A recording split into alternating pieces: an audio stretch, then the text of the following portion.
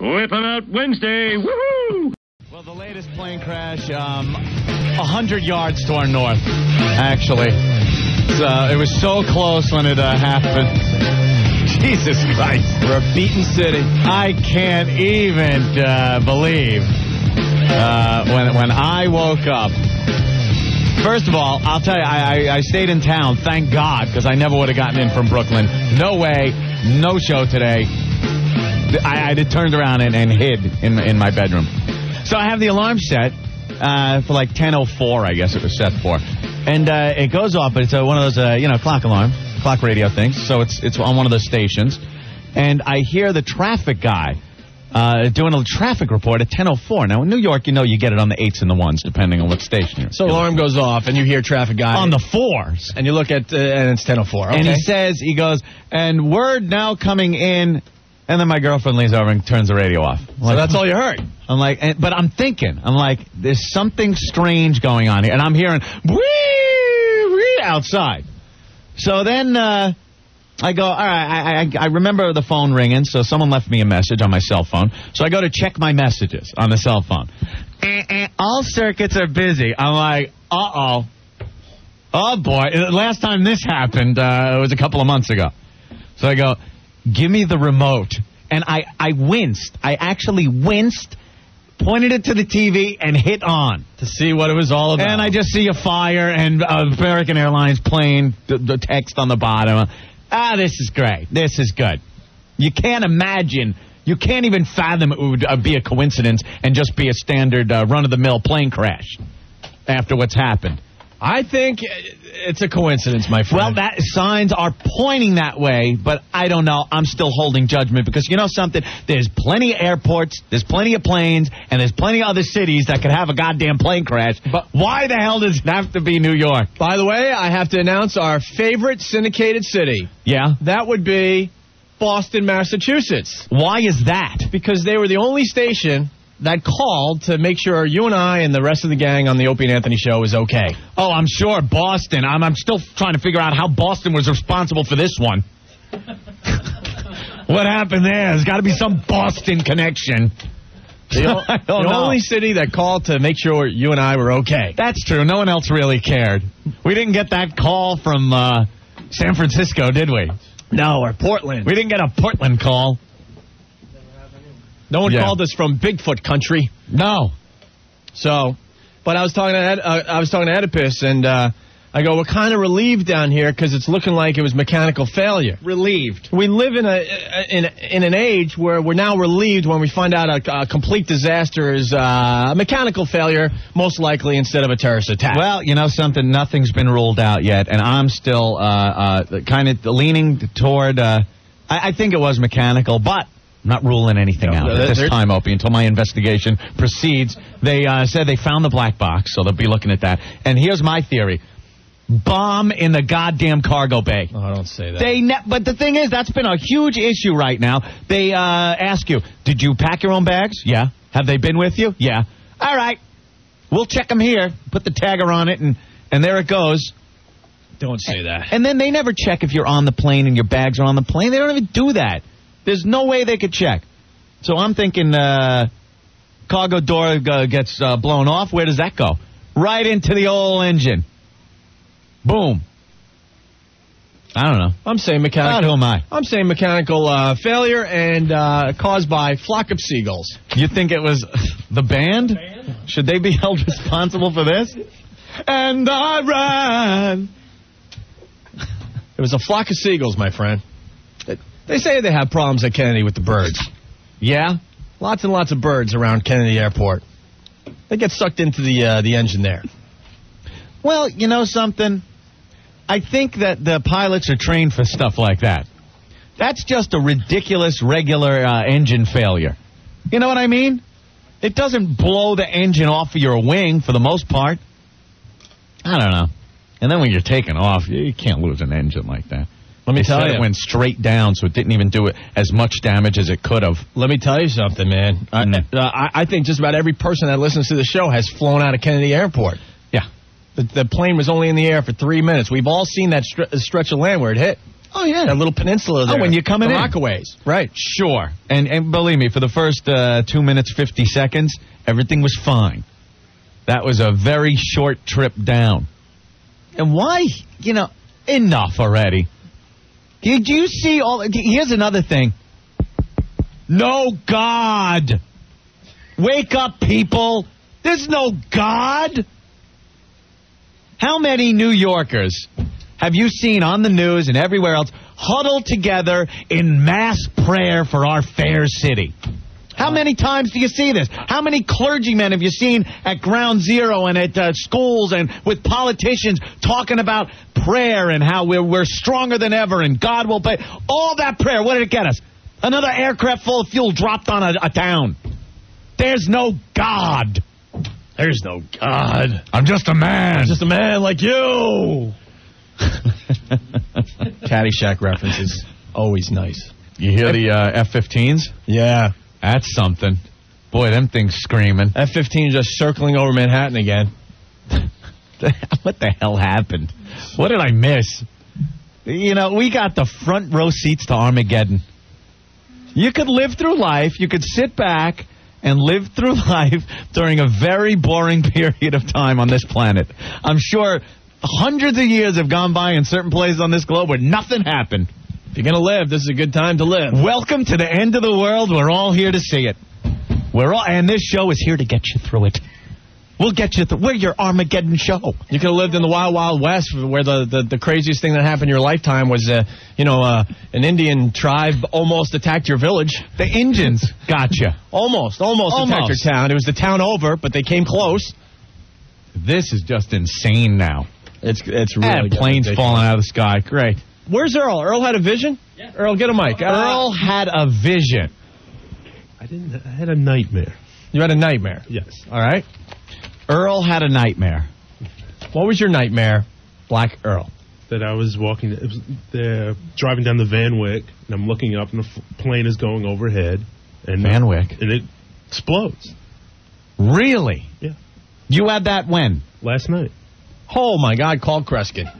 My goodness. I mean, I, I, I did that because I'm a black Earl from the future, and what I did was I uh, uh, uh, transported myself uh, in uh, uh, the DeLorean. I went to the future, and let me tell you something. I saw the plane crash. Then I came back, but I was going to warn people, but I fell asleep. I was tired from working on the public file all day. so now I got to go back in the time machine tonight, go back to two days ago, see the plane crash again in my visions, and then warn people. I hope I don't get stuck doing something like a public file or a sticker stop. I need I need some uh, energy for my time machine, my DeLorean. There I was, speeding down the Van Wyck in my DeLorean. I reached 88 miles per hour, and I went into the past. I ended up at the Enchantment Under the Sea Ball when I looked up, and I saw a plane crash into the clock tower at exactly 10 o'clock. I had to get my pappy and my mammy together, or I wouldn't be born. I started disappearing, and then I played the guitar like Chuck Berry, and I saw the plane crash. and Biff was trying to get my mammy, so I told my pappy, "You punch Biff in the face." And I, everything will be fine. I'll be able to go back to the future and tell people about the plane crash. Because I saw the whole goddamn thing. And but then when I got uh, back to the future, I went home and I was going to call up. I swear I was going to call up American Airlines and tell them don't take off the plane because I saw the plane crash. But I laid down for two seconds. I fell asleep because I, I was working on a public file. I don't know what that is, but I was working on. it. And then I went out to the garage. I had a brand new Toyota 4x4 and a girl that looked real 80s. and my mammy and pappy were older, but they were different. And all of a sudden they were cool. My pappy was an author, and my mammy was a great mom.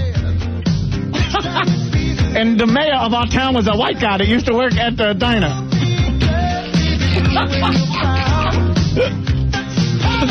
and Biff was out picking cotton in our yard. That's called revenge. You know, people died in a plane crash because I fell asleep, but some good things happen to Black Earl in the future. So screw them. But I'll try it again tomorrow. Maybe I'll go to the Old West. yeah, the Old West.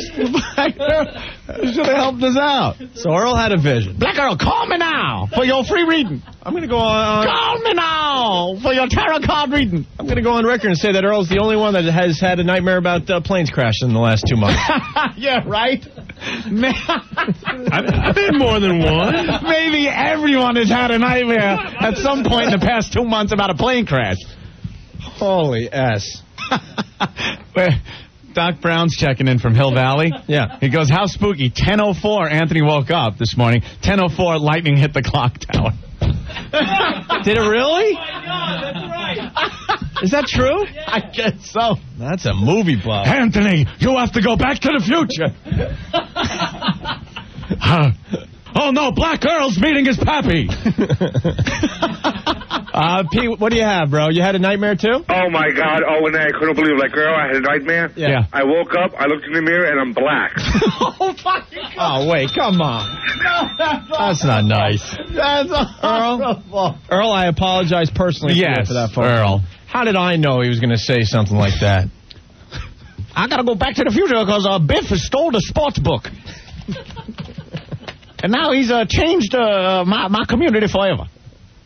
Where the flux capacitor? Steve, what's going on? Hey, what's up, guys? Hey. Hey, man. Uh, and just to back up on your Back to the Future point, Yeah. November 5th was the day he went back to 1955, and then, of course, the doc banged his head on the wall, on the toilet, came up with the flux capacitor. But a week later was the day of the clock tower striking, which is November 12th.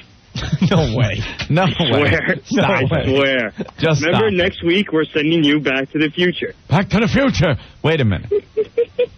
I, I, I'm lo- I'm looking at all kinds of Back to the Future sites, and all I could see is uh, the date Marty travels back in time to November fifth. Okay, so Yeah, and then a 5th, week and then later. a week later stays a week. Crazy, huh? he stayed a week because he had to stay for the dance.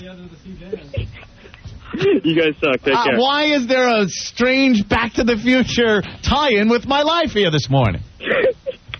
The 1004 thing is right, too? 10:04 was yes. I looked at that. It was it was 10:04. Your alarm clock went off at 1004 in the hotel. 10:04. And that's when you heard the traffic reporter uh, saying something yes. before your girlfriend shut off the alarm clock, and then you turned on the TV to see this disaster. and I knew none of this until after I, I went off on the Earl Back to the Future tie-in.